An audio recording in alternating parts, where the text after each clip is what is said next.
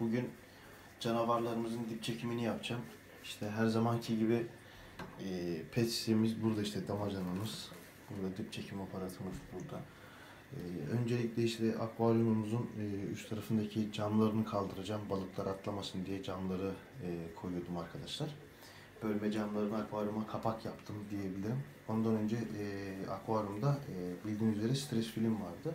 Fakat canavarlar stres filmi koparır filan.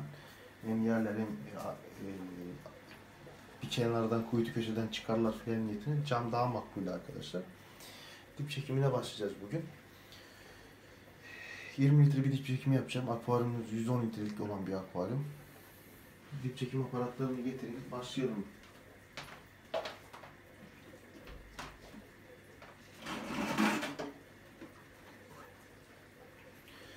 İşte kullandığımız işte dip çekim aparatı bu arkadaşlar. Sürekli her yerde bulabileceğiniz bir dip çekim aparatı. İşte başlığı yok. Bir başlığına bakayım. Başlığını bulduktan sonra dip çekime başlayalım.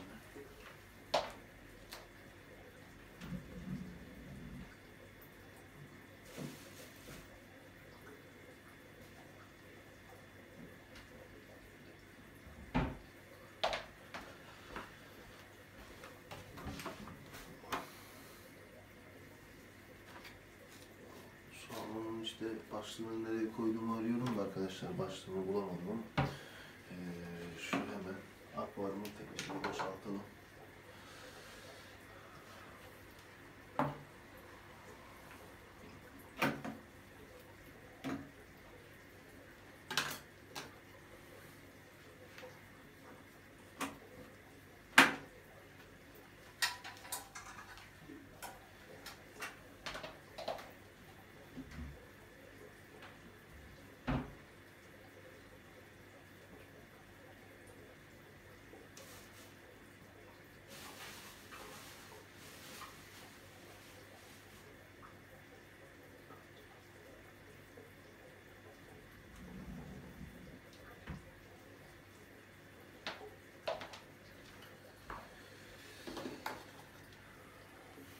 Dip çekim aparatının şeyini bulamadım arkadaşlar ama ona baktım. Kim bilir nereye kaldırdık. O da ayrı bir şey. Şey, Böyle camlarımız var. Şöyle camlarımız var. Bunları da bir kenara koyayım. Dip çekiminden sonra tekrardan akvaryumumuza yerleştireceğiz. Aslında çok tehlikeli bir şey arkadaşlar yani böyle e, cam mı olması filan. Camlar tam oturmadığından dolayı bazen kayıyor filan arkadaşlar. İyi bir şey değil yani tam e, çerçevesine uygun camlar kestirmek daha makbule. Ya da işte kapaklı akvaryum almak daha makbule ama fiyat farkları gerçekten aşırı derecede e, bir artış oluyor yani kapaklı akvaryum olduğu zaman.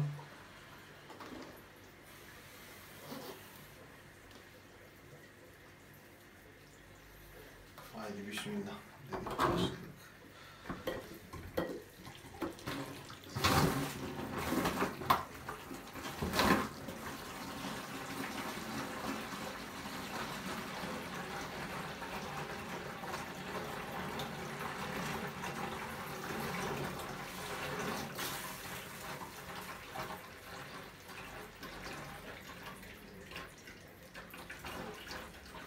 Yaprakları çekiyoruz yani arkadaşlar.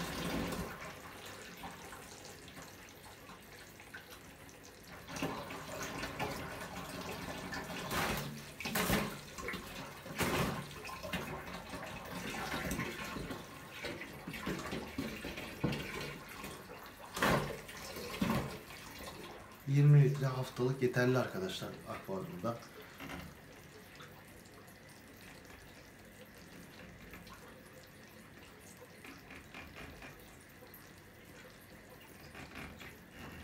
İşte yem attığımız bölge çoğunlukla bu taraf. Bu tarafta güzel bir dip çekimi yapalım. Parça olan mesaj yaprakları, mango kökleri de geliyor arkadaşlar.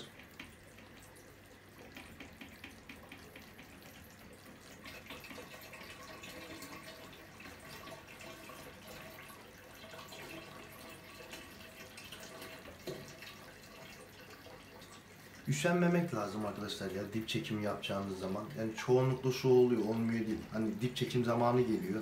Yarın yaparım, işte ertesi gün yaparım, üç gün sonra yaparım, beş gün sonra yaparım. Z- Her zaman yapmama gerek yok falan niyetiyle hareket ettiğiniz zaman arkadaşlar e, gerçekten kayıp e, yani balıklardan kayıp veriyorsunuz. İşte balık öldüğü zaman da bu sefer de diyorsunuz ki e, işte balıkta problem vardı ya da şunda problem vardı. Böyle oldu, şöyle oldu. Bir şeyi yoruyorsunuz. Fakat bunun en büyük nedenlerinden bir tanesi dip çekim yapmadığınızdan dolayı kaynaklanıyor işin açıkçası. Bu yani arkadaşlar. Onun için ben her zaman diyorum dip çekimlerini aksatmayın. Bu bende de oluyor yani. Ee, prensip sahibi olmak gerekiyor. Dip çekimlerini aksatmamak gerekiyor.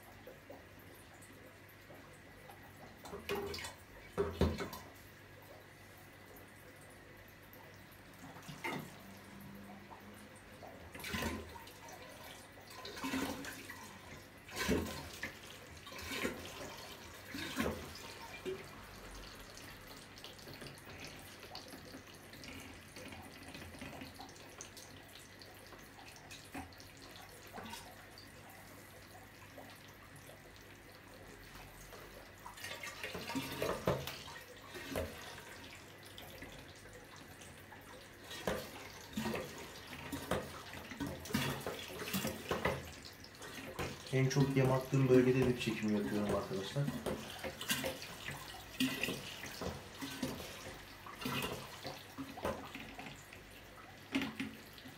İşte kuytu köşeler. Köşelerle dip çekim yapmak gerekiyor işin açıkçası.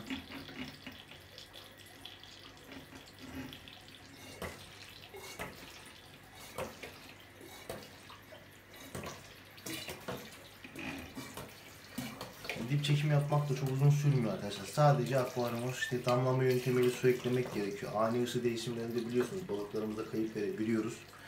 Onun için e, dip çekim yaptıktan sonra damlama sistemiyle e, akvaryuma kesinlikle arkadaşlar su ekleyin.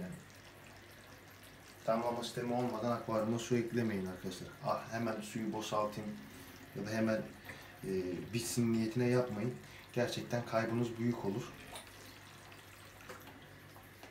Dip çekimimiz bu kadar sürdü yani arkadaşlar. Ortalama e, yani bir 5-10 dakikada dip çekimini bitiriyoruz. Şimdi arkadaşlar dip çekimini yaptık. İşte e, işte hemen su ekleriz falan niyetine işte biraz boşluk kaldı falan niyetine hemen akvaryumun kapağını kapatmamız gerekiyor. Beslediğimiz balıklar yerinde e, duramayan balıklar. E, onun için e, dip çekimini yaptıktan sonra hemen e, öncelikle kesinlikle arkadaşlar e, camlarımızı yerleştirmemiz gerekiyor. İçeri gidip geliriz bir şey olur bir anda balığımız yere düşer, incidir, bir yeri kırılır. Her şey olabilir yani arkadaşlar. Onun için hemen kapaklarımızı kapattık. İşte dip çekimimiz bitti. Dip çekiminden sonra e, balkonda dinlendirdiğimiz sularımız var. Dinlendirilmiş sularımızı da ekledikten sonra suyu yenilemiş, tazelemiş oluyoruz. Tabi bu eklememiz e, işte 20 litre akvaryuma damlama sistemiyle su eklediğimiz zaman e, ortalama yine bir aşağı yukarı yarım gün sürüyor arkadaşlar damlama işlemiyle. Fakat e, ısıyı e, dengede korumuş oluyoruz. E, dengede korumamızın nedeni ise arkadaşlar e, dengede korumadan ani bir şekilde dip çekimi yaparsak balıklarda beyaz benek hastalığı çıkıyor. Yani bu, bu sefer de e, beyaz benek hastalığıyla savaş açıyoruz yani. Yok ilaç dökelim, yok ısı, ısıyı yükseltelim, parazitleri dip çekimi yaparak tekrar toplayalım. Bunlar tekrar tekrar uğraştırıyor bizi arkadaşlar. Onun için de e, ben her zaman diyorum damlama sistemiyle lütfen akvaryumlarınıza e, dip çekim yaptıktan sonra damlama sistemiyle akvaryumlarına, akvaryumlarına su ekleyin. Aksi halde beyaz benek hastalığı pesinizi bırakmaz arkadaşlar. E, pesinizi bırakmadığından dolayı da e, balık hobisinden soğuma gibi problemleriniz olabilir. Bilginiz olsun. Kendinize iyi bakın. Görüşmek dileğiyle. Herkese bol yararlı akvaryumlar diliyorum. Hoşça kalın arkadaşlar.